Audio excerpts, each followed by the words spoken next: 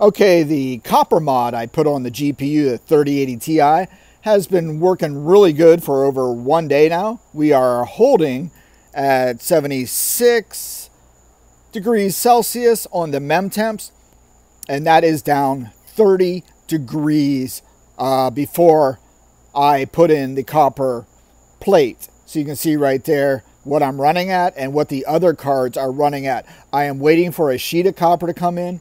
I'm going to do those uh, 3080 Ti Asus TUF GPUs first because they are way over 100 on the MEMS, and I'm hoping they'll be down in the 70s as well. And uh, looking good. The copper is the secret sauce to keeping your GPUs cool. So go get it, baby. Get your copper.